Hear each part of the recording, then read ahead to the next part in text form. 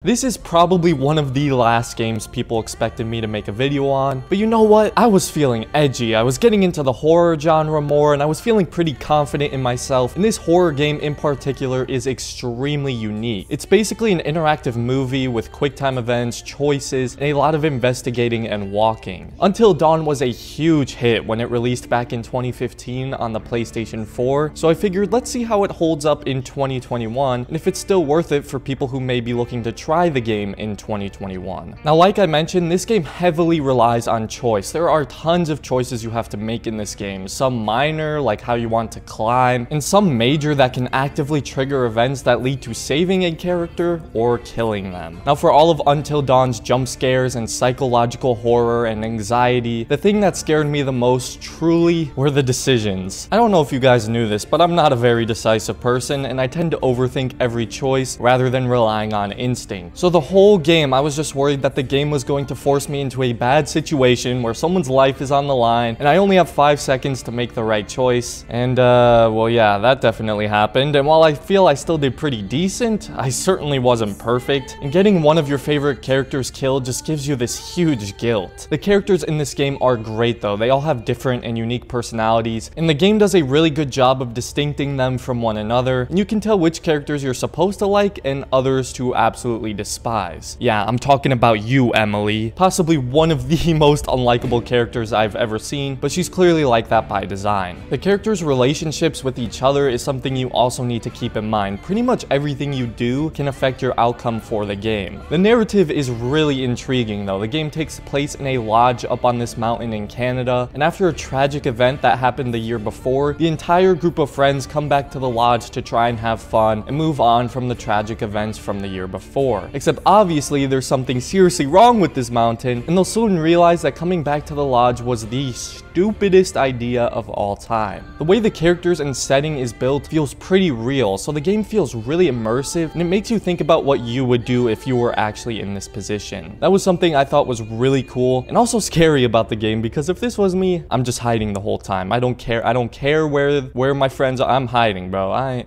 no, I'm hiding. The first couple of chapters of the game start out pretty slow, but it's all built up, and when things start going down, it takes very few breaks. I really enjoyed this story though, it's got everything. Thrills, scares, the game is one big adrenaline rush, and it's basically like watching a scary movie, except all the characters' fates lie in your hands. Until Dawn doesn't have a lot of gameplay elements since it's basically an interactive movie with its main focus being on the story. There's a lot of walking, and I mean a lot. Along with a good amount of quick time events, there's also a few times where you get to aim a gun and shoot, but other than that, there's really nothing special or in-depth gameplay wise, which is honestly fine because of how unique the format and game feels. It didn't feel like the game needed this fully controllable gameplay system. Until Dawn has a lot of clues and these fortune-telling totems. The totems allow you to see glimpses of future events so you can hopefully avoid or allow them to happen depending on whether they're positive or negative. The clues can unlock some extra dialogue and give you more insight into the mystery of what happened on Blackwood Mountain. Also, fair warning, there's a lot of jump scares in Until Dawn, and I mean a lot. So if you're easily scared and don't like jump scares, this game is really gonna stress you out. And they do such a good job of building them up that you're always feeling paranoid and trying to prepare yourself for a jump scare. And while some of them are predictable, a lot of them you never see coming. I'll be here all week. Oh my! Ah. the game constantly makes you feel like you're being followed or watched. That's probably because you are. This unsettling feeling follows you everywhere you go and you can never ever feel safe or secure. It's such an uneasy feeling and even though I hated it in the moment, looking back, that's exactly how you want to feel when playing the game. The design and world building of Until Dawn is phenomenal. I love the snow, the creepy lodge, wooden cabins. It's a very immersive and realistic, grounded setting. The graphics still look phenomenal six years later, however the performance is noticeably very choppy. The game hits 30 FPS on a good day, often dropping even below that, and even though it's not a huge deal, you don't need great frame rates for this game, this game could really benefit from an upgraded version with at least 60 FPS, and it would feel so much better to play.